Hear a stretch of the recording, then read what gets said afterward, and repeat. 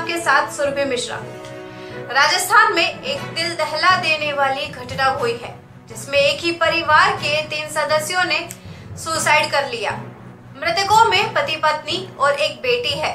वहीं दो साल की एक बेटी को गंभीर हालत में अस्पताल में भर्ती कराया गया है। बताया जा रहा है कि बेटे की बीमारी और आर्थिक तंगी की वजह से घटना को अंजाम दिया गया है। पुलिस ने बताया कि मृतक रिजवान के गले में फंदा लटकाने से मौत हुई। पुलिस के आने से पहले परिजनों ने उसे उतार कर चारपाई पर रख दिया था, जबकि उसकी पत्नी और पुत्री की संदिग्ध हालत में मौत हुई है।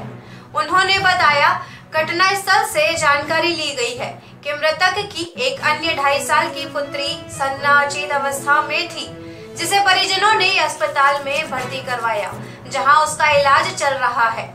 पुलिस ने तीनों शवों को कब्जे में लेकर पोस्टमार्टम के लिए भेज दिया है।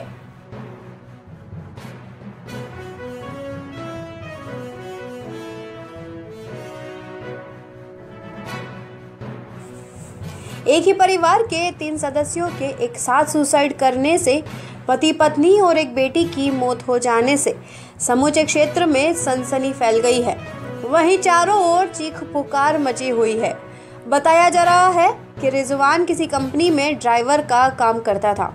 काफ़ी दिनों से अपने बेटे की बीमारी के कारण काम पर नहीं जा रहा था।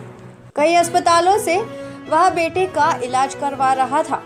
परिजनों ने बताया, आठ तारीख को ही वह अपना पुत्र का अलवर से दवाई लेकर गाँव लौटा था।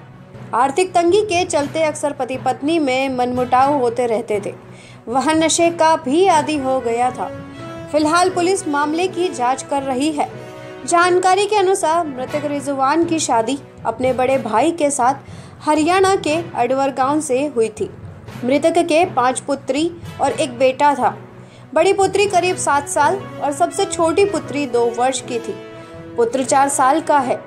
बताया जा रहा है कि सुबह मृतक के बड़े भाई की पत्नी पशुओं को चारा खिलाने के लिए गई तो उसकी नज़र अचानक टीन सेट की ओर गई, जब उसने रिजवान का शव लटका हुआ दिखाई दिया, जिस पर शोर मचाया और परिजन इकट्ठे हो गए और घटना की जानकारी पुलिस को दी। खैरथल ज़िले के तिजारा डीएसपी मुनेश कुमार ने बताया, पुलिस की सूचना मिली कि मालियार जट्ट गाँव की चाहत हाजी की ढाणी में एक परिवार के पति पत्नी और एक पुत्री की मौत हो गई है। सूचना पर डीएसपी मुनेश कुमार, थानाधिकारी कमलेश कुमार घटनास्थल पर पहुँचे। वहाँ पर उन लोगों ने देखा कि एक टीन सेट कमरे में रिजवान 30 वर्ष, पुत्र अब्दुल गनी फांसी के फंदे मृतक शरीर पे चारपाई पर पड़ा था।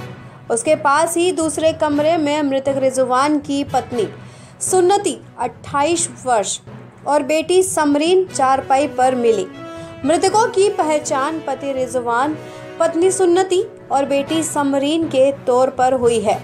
वहीं एक पुत्री सन्ना, दो वर्ष का अलवर के अस्पताल इलाज चल रहा है। बताया जा रहा है कि सभी ने सुसाइड किया है।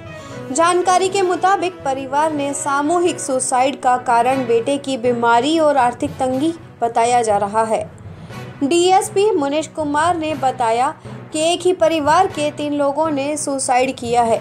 इस पूरे मामले की जाँच की जा रही है। मृतक के पिता ने रिपोर्ट दर्ज कराई है। उसके आधार पर मेडिकल बोर्ड से पोस्टमार्टम कराकर जाँच की जा रही है। मेडिकल टीम की प्रथम दृष्टि में आया है कि रिजवान मौत गले में फंदा लगने से हुई है। उसके पत्नी और बच्ची की मौत जहरीला पदार्थ खाने से हुई है।